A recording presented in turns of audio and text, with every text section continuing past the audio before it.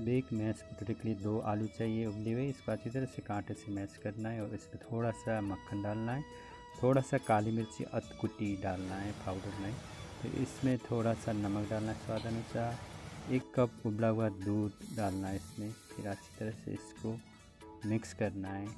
ठीक हो जाएगा। फिर आप डिश में ट्रांसफ़र करें।